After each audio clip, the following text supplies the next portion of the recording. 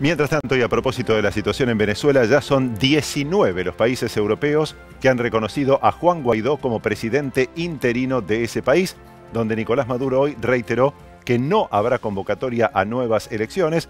Se reunió la Asamblea Nacional, el Parlamento, que tiene mayoría antichavista, resolvió generar una hoja de ruta de lo que sería el traspaso al poder hacia Juan Guaidó.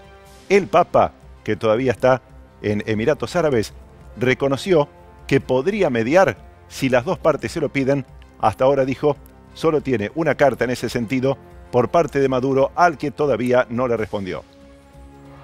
El Papa Francisco encabezó la primera misa católica celebrada en público en los Emiratos Árabes y durante la tradicional conferencia de prensa en su vuelo de regreso se refirió a la situación en Venezuela el sumo pontífice fue consultado por el grupo de periodistas por el pedido de Maduro sobre una posible mediación entre los líderes venezolanos y aseguró que sería posible, pero solo si las dos partes en conflicto lo solicitan.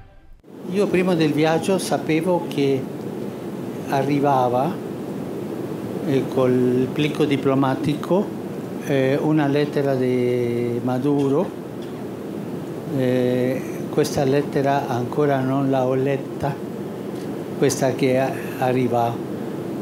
E, e vedremo cosa si può fare.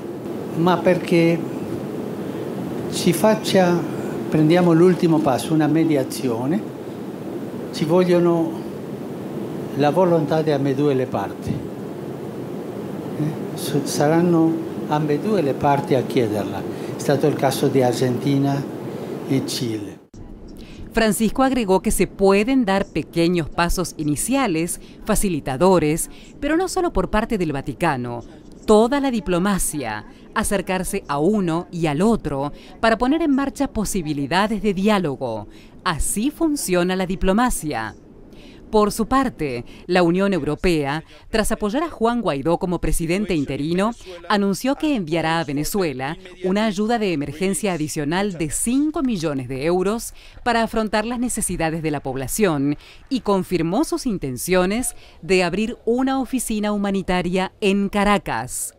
En ese marco, el presidente turco Recep Tayyip Erdogan acusó a los países de la Unión Europea de querer derribar al gobierno de Nicolás Maduro y además de reafirmar su apoyo al presidente de Venezuela, aseguró que no aceptarán un mundo en el que los fuertes tengan la razón porque están en contra de las estructuras imperialistas.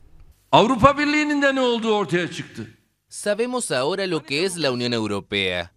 Por un lado hablan de democracia, democracia, democracia y elecciones, elecciones, elecciones. Y por otro lado, de manera violenta y con artimañas, van a derrocar a un gobierno electo.